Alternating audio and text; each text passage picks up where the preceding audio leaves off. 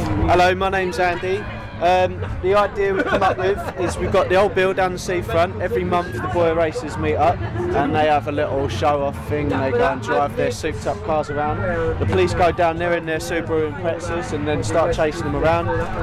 There's so, there's something there. There's some substance. The police have got to chase the boy racers or the boy racers chasing the police. Loads of car crashes, loads of noise, loads of guns and drugs and loads of carnage. That'd be good.